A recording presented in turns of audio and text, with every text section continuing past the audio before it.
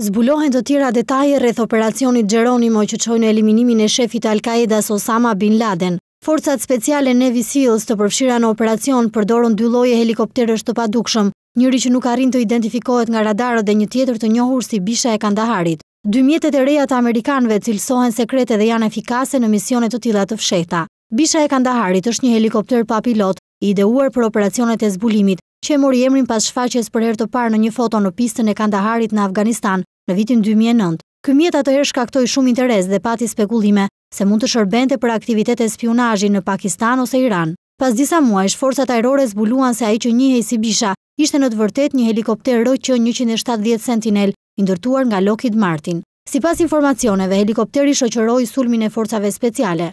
Aparaturat e tij shohin shumë dhe janë të rëndësishme në mbledhjen e të dhënave kyçe. Misteri tjetër lidhet me një lloj të ri helikopteri të përdorur nga Seals, një mjet që nuk mund të kapet nga radarët. Fotot e mbetjeve të helikopterit të braktisur dhe shkatërruar pranë shtëpisë ku strehohej Bin Laden treguan se ai nuk ngjan me helikopterin MH gjashtëdhjetë të përdorur zakonisht nga Navy Seals.